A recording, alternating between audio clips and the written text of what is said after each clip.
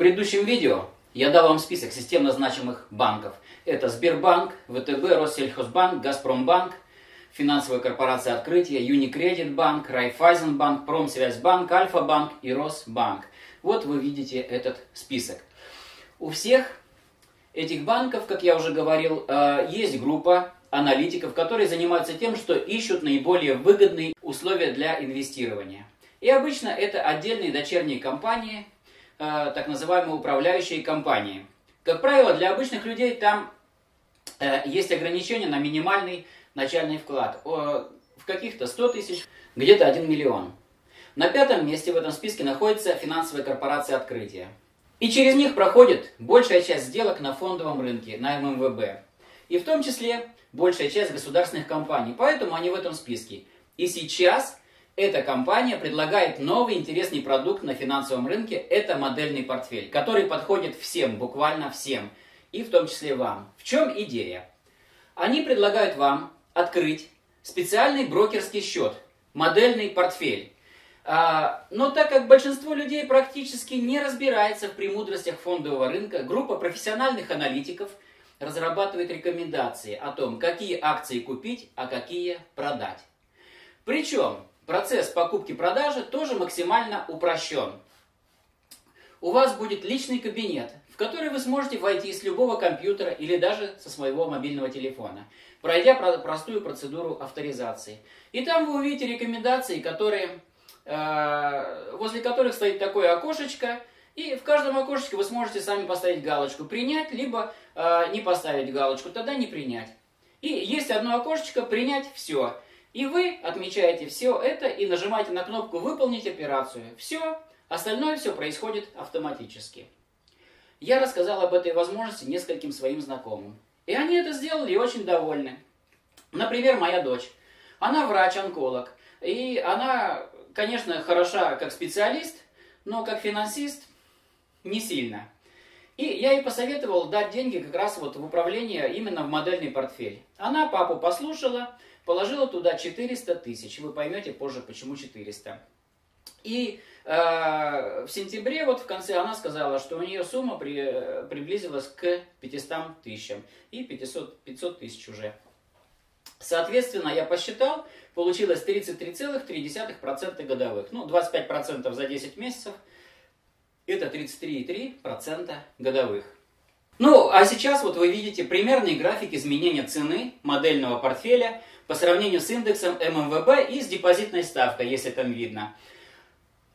Ну, из этого графика совершенно очевидно, что модельный портфель, естественно, значительно превышает индекс ММВБ, он от него а, а, ну, во-первых, он немножечко повторяет, но отдаляется от индекса ММВБ вверх.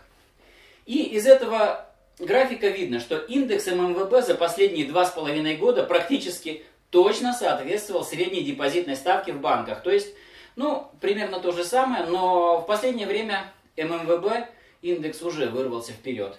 А вот инвестиции в модельный портфель заметно опережали и индекс ММВБ, и, естественно, доходность депозитов. Ну и теперь вы видите, что ответ на вопрос, куда вкладывать деньги, совершенно очевиден. Конечно, сюда. А так как доходность депозитов постоянно сейчас снижается, и банки закрываются, то эта тенденция будет продолжаться. И понятно, что за инвестициями в фондовый рынок будущее. И во всем мире происходит именно так. Э, уже давно в развитых странах совершенно невыгодно держать деньги в банках. Более того, банки там просто не заинтересованы в этом. Э, им просто не нужны ваши деньги. И практически э, все люди имеют вложения в акции. А так как большинство населения во всех странах никак не разбирается в преимуществах фондового рынка, в премудростях, они используют примерно такие инструменты, вот которые, как такой, который я предлагаю. Это взаимные фонды, ПИФы, управляющие компании – но там минимальная сумма, как я уже сказал, э, очень высокая. Вот такие инструменты. Есть два варианта. Первый вариант. Вы открываете счет, вносите деньги, получаете доход. В любой момент вы можете как пополнить счет, так и вывести свои деньги без ограничений. Но при выводе с вас возьмут подоходный налог в размере 13% от полученной прибыли, исключительно от прибыли.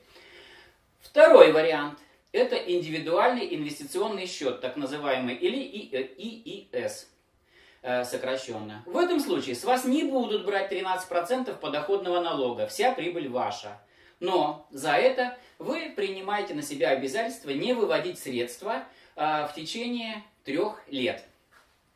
И максимальная сумма вклада там 400 тысяч рублей, э, потому что такие льготные условия очень трудно найти. Вот, и именно поэтому дочь э, внесла 400 тысяч.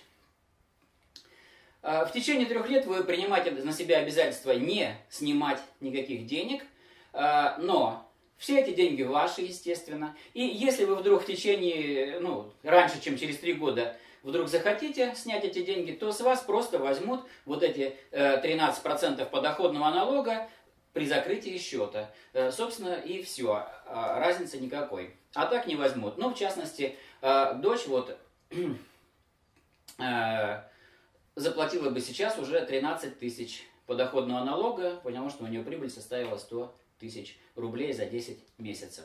А так она ничего, естественно, не платит. И если ничего не снимать, то вообще ничего не снимается, э, не платите. Э, деньги снимаются только при выводе денег со счета. Сколько это стоит? Открытие счета ничего не стоит, бесплатно. После того, как вы откроете счет, вы банковским переводом переводите деньги на этот счет, банковским переводом.